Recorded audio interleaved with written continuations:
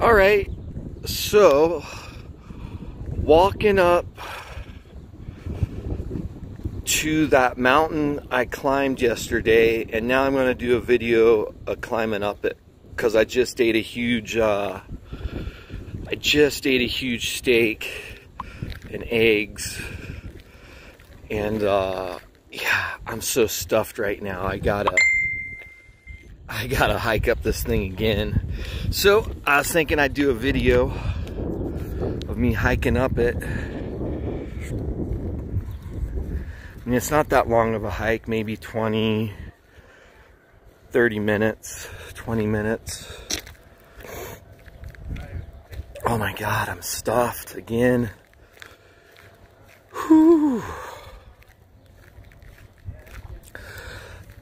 I think they're trying, there's like a dude up there and he's got, he's like watering. Let's see if I can zoom in on him. Yeah, you can't really see him, but he's got like, I think they're like trying to make a museum up there or something.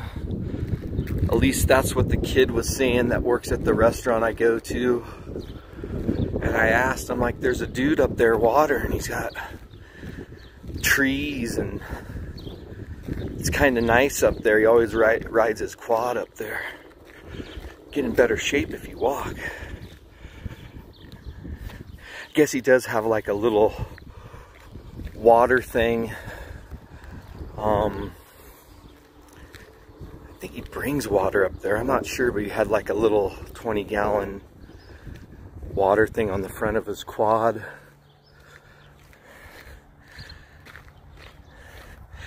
But from down here, it looks really steep.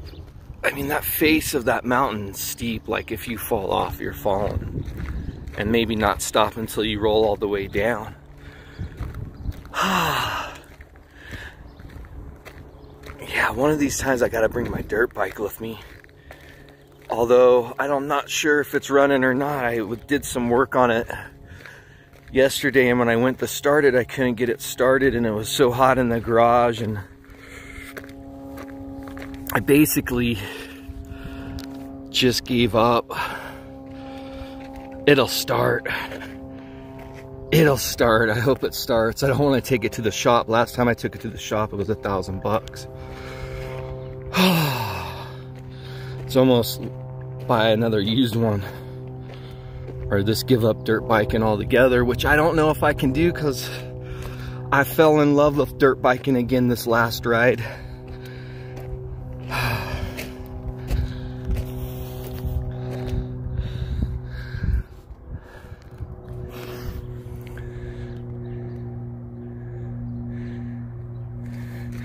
Gotta watch out for snakes, I think. I don't know if they have rattlers here or not. I bet they do.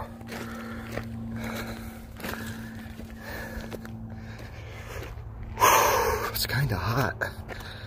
Kind of hot.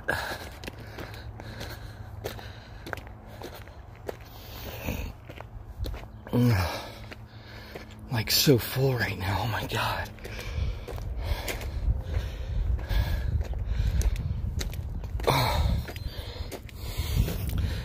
Gets a little steep.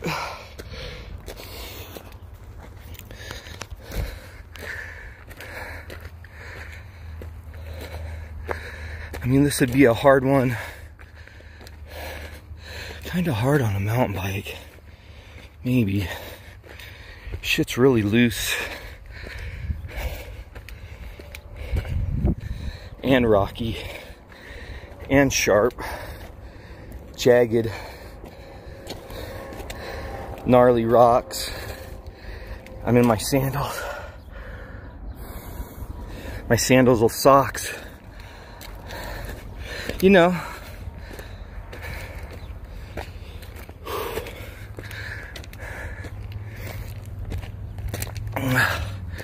Oh, here comes Quad Dude.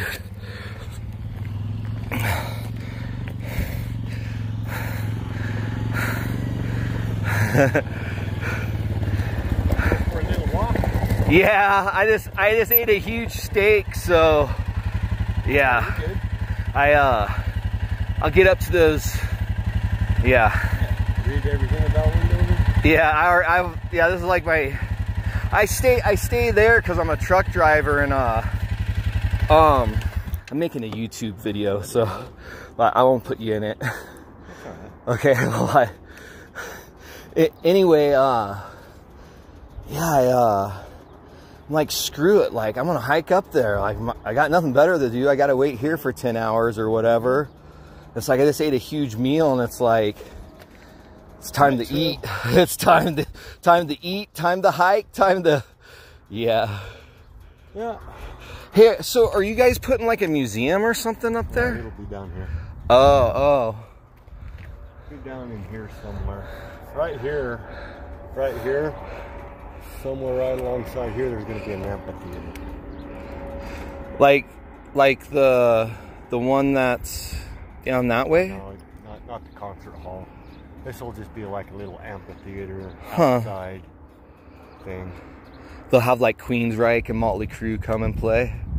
All right with me, but I know the like the last time I saw an ad for a band at the um at your concert hall, it was Queensryche. I'm like, what the fuck? I'm all Queensryche's playing in Wendover. I like text my buddy that lives in Florida. I'm like, dude, Queensryche's playing in Wendover. He's like, where the fuck's Wendover? I'm like, it's on the way to Salt Lake City, bro. Like, yeah, they had Skid Row. Ted Nugent shows up every year. yeah, this place, this place is very cool. Like, I need to bring my dirt bike with me. Oh yeah, miles. I know. Like, I live in Re- I, I live in Reno, so I go to Salt Lake and then back to Reno, and um, I mean, this is just like Reno. Like the man, I wonder if there's trails all up in There there. Damn. Yeah. I mean, some of these trails that go up, like behind the cemetery there, you know, a lot of them just kind of dead off. But there's one that go around. This is Needle Point here. Uh huh. You go around that side, and where it ends, and if you walk up from here to the sit that little sagebrush away, there's a cave. You go into the cave, and then you have to kind of you have to crawl, and then it just There's so hold on. There's a cave up in there. yeah. The- That's not the danger cave though. The danger no, cave, Danger yeah. over here. But th- they call it lime lime cave, lime crystal cave or whatever. As you go in there and it's all it's all white. Really, Yeah, but it, but you have to crawl. a little ways, Yeah, you have to crawl about I don't know. and you 50 they don't have it blocked off. No. And then it just opens up into this big ass cave. Man, Yeah. I'd like to check that out. How far do you think it is from here? From here, Yeah, three miles. three miles. Maybe. And it's called the Limey Cave, Yeah. Or, uh, crystal. Crystal Cave. yeah. Are there crystals in there? Well, it, it just kind of looks like crystal. Uh. It's- all, all it is is just the water's been sitting in there for so long, and it just got. It looks like a. It, almost looks like a, a white soccer ball. Cool. You know. Oh yeah, That's cool. You know, so that is pretty cool. But then, you know, you get up to the cemetery, and of course, there's there's a road that goes out, and then there's you know all the military stuff. You you can see where. You know, Now- they had bombing and stored water. Now, up on the sign that was up there, I read that there's a. I want to say they said over that mountain range, there's like a, a a railway that they practice shooting machine guns, Yeah. and a jeep that would run on a like like on a train Yeah. track or something. Yeah, and that's actually where what I was just telling you. And you get up and you just go right past the cemetery, follow the road, and you know there'll, there'll be forks. You just kind of stay on the main road, and it'll take you over, and then you're looking at the valley, and you you can see, yeah, you, you can see the outline of that shit. The rail's not there anymore, of course. So someone probably scavenged the steel or something. The military did. we got to make more bullets, Yeah. Especially for World War II. Like, Yeah, pretty neat.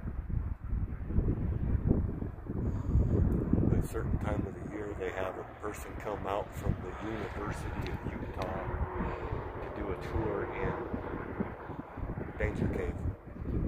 I see people sometimes over there, and I've seen groups of people. I mean, dude, I've been driving to Salt Lake twice a week now for almost three years. So I, am always looking over there because I, I would see people, and then it, till the other day when I read, I'm like, oh, it's a cave. That's what they're doing. And then well, it's, it's, it's a pretty significant cage. It's the first time they figured out when uh, humans started domesticating dogs. Really? Yeah. It, the danger cave is like where they yeah, figured where, out where. They, yeah, well, where pre, dogs. Pre, pre, prehistoric yeah. and dogs and people became friends. Yeah. Dude, that's so cool. Yeah, of course, the water comes clear up to to the, the side of the mountain. I mean, it wasn't 300 years ago, anyway. And then when when the that plant out there started using the water, it just it drained. I should bring dirt bike would be more difficult. Mountain bike would be easier, and if it's only three miles, I, man, I gotta check that out. Four wheeler's badass. Yeah, but like I don't. the uh, I would have to load the dirt bike in. I don't know if that would work. Throw it on your bumper. It well, that's that's the truck down there that I drive, and it does have a lift gate. I would love to bring my dirt bike here and spend an afternoon riding around. Bring it out park it in my garage for a week. yeah, right. And then, you know, what are we doing, bomb it? I got enough room. I, uh... You wanted to do that. The only problem is I've been riding on Sundays with my friends up in Truckee and, uh... And I, I would be here but yeah, you get on the other side of these mountains. What I need to do is find another dirt bike that's for sale and drop it off in your garage and then I have it. On the other side, you could go, you could go clear Twin Falls. Really? I mean, that's what, 200, 300 miles from here? Yeah. Well, I don't know. Highway. As highway. as the crow flies, it's probably close to 200 miles. Because you, you've heard of Montello. I've heard it. I've yeah. never been there. It, I, it, it's, it's a small, small little community. You, you blink, you go by it. But, you know, it's out there. And then you could hook up onto 93 right there. Yeah, I was staying in Wells a whole bunch of times and and then all the restaurants closed down. And then I like tried to eat McDonald's and Bella's is open, oh my god. It's expensive. Luther's might be open too, but yeah, every time I call no one ever answers, so Yeah, they, they just opened. My girlfriend daughter actually moved over there and is and is bartending at Luther. Heather? No, Laramie. Laramie? Yeah, she's just. Here, I'm gonna stop this. About two weeks.